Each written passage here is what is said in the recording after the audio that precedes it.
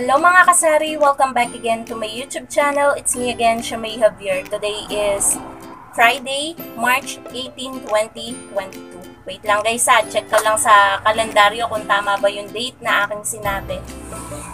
So, ayun guys, tama naman. So for today's vlog, ayan, share-share lang ako ng mga gawain ko ngayong araw ng biyernes dito sa aking sari-sari store. Mag-a-unwrap tayo ng order ko from Lazada and then kanina guys, galing din ako sa malapit na wholesaler. Uh, dali-dali ako doon pumunta para bumili ng mga ilang paninda na medyo ubos at paubos na dito sa aking sari-sari store na kailangan ko nang bilihin agad kasi parati siyang hinahanap sa akin ni customer. Buksan na natin ngayon to guys, itong Order ko from, from Lazada. So, kunin ko lang guys yung bunting ko doon. Wala pala dito sa lamesa. Wait lang guys. So, ayan. Nakuha na natin to. So, mag-ano muna ako guys ng pang thumbnail. Wait lang guys.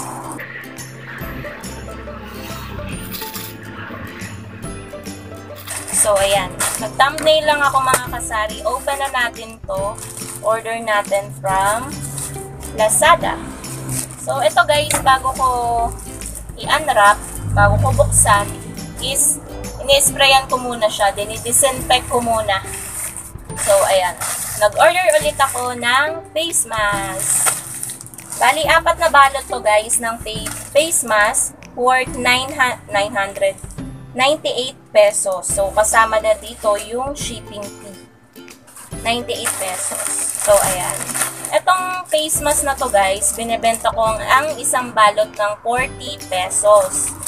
So, kapag ito naubos ko, binibili naman to sa akin guys ng mga customer ko ng balot-balot na kasi mas makakatipid sila. So, 40 times 4, 160. Tapos yung ginastos ko is 98 pesos. So, meron akong tubo na 62 pesos. Hindi na rin masama kapag naubos ko tong apat na balot. So, nakailang order na ako nito guys sa Lazada. Siguro mga pang lima kasi nauubos-ubos naman siya kapag naka-display dito sa medyo bungad ng bilihan ni customer. So, ito guys ay color black. Kasi ayan, gusto ni customer guys ang color black palagi. Black palagi hinahanap sa akin kasi sabi nga nila, kapag color black yung face mask na ginamit is nakakapogi daw at nakakaganda. So, dagdag pogi points yon kapag sinuot lalo ng mga kalalakihan. Kaya siguro, mabenta to.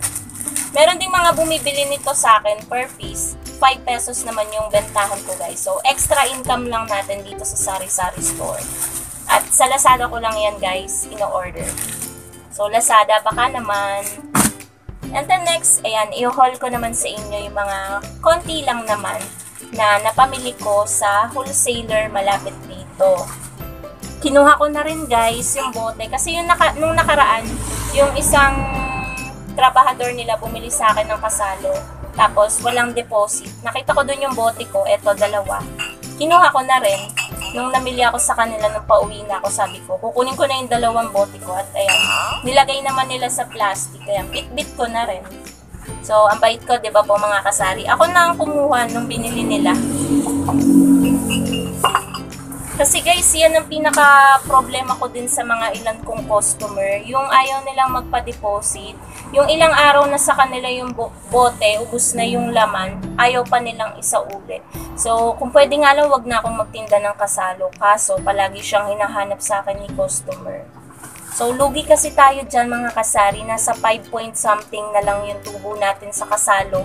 And then, kapag hindi pa sinauli sa atin yung bote, lugi na tayo. Wala pa tayong tinubo. So, eto guys, ayan. Isang malaking eco bag to. Pero konti lang naman to guys, worth 500 plus. Kasi ang dala kong pera, 700. Kinakabahan pa nga ako kasi akala ko kulang yung dala kong pera. Palas, 500 plus lang. Una sa lahat is Gatorade. Patatlo-tatlo lang ako kung bumili nito sa kanila guys ng Gatorade. Ang bentahan ko nito, ayan, i-Holland pricing natin. 35 pesos. Ito yung, ano lang to, size nito guys eh.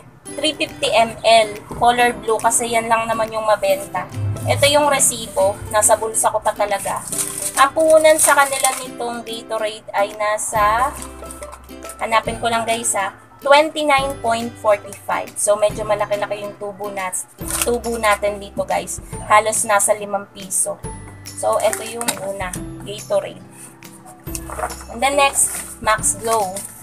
Ayan, dyan natin nilalagay.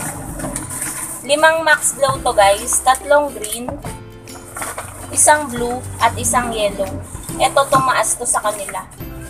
Nasa 14 point something lang to dati. 20 ang bentahan ko. Wait lang guys. So, ayun po mga kasari, let's continue at pagpasensyahan nyo na po yung ingay sa labas yung tahol ng aso. Kasi ang dami naming alagang aso mga kasari. So, saan na ba tayo nahinto? Dito sa Max Glow, ito guys, nag-price increase. Nag-iba yung puhunan nito sa kanila. Ngayon ay nasa 15.35 na, na yung puhunan ng isang ganito. 20 guys ang bentahan ko nito. So, magkano na lang yung ating tubo sa Max Glow. Compute natin. Pasensya na guys, mahina ako sa math.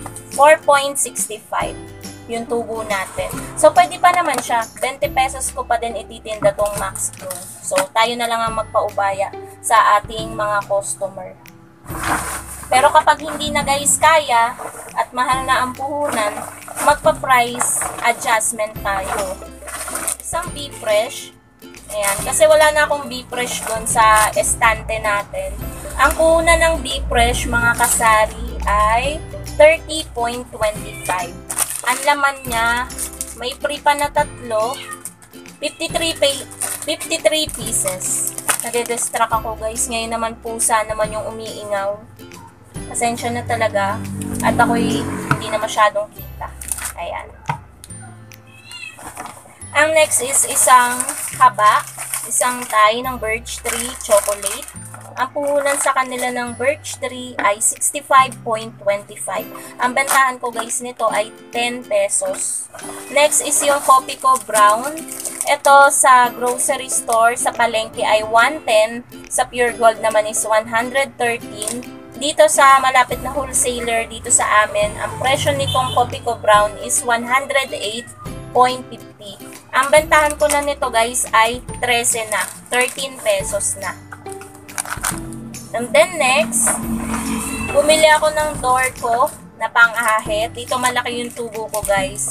Ang puhunan nito ay 33.60. Lima yung laman niya. Ang bentahan ko ng isa ay 15. Halos kalahati guys yung tubo ko. So ito naman kasi, kaya ganun yung pagpapatubo ko dito is hindi siya fast moving. Natutulog yung puhunan natin dito sa door ko na razor. Next is yung ating ano, Ayan, 555 sardines na green. Tatlo lang to kasi galing na din dito yung stock ng Pure Gold. Nag-order din ako ng ganitong 555. Ito lang guys, kasi ubos na yun nandito sa taas. Para lang kapag may naghanap, kasi bukas pa yung delivery ng Pure Gold. Kapag may naghanap today, meron ako maibebenta. Ang bentahan ko nito guys ay 21 pesos. Ang puhunan na sa kanila ay 18.25 na.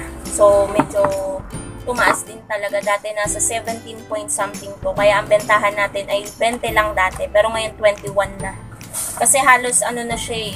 Magna 19 pesos na. Ang last naman guys is ito. Hinahanap na talaga to. Ilang days na akong wala nito. Ayan. 10 piraso ng Richoco. Wala na yung with ML guys. Ang meron na lang is ito. Yung Richies. Tatlong peraso lang to. Ang bentahan ko nito, pares lang na 12 pesos. Ang puhunan niya ay 8.95 pesos.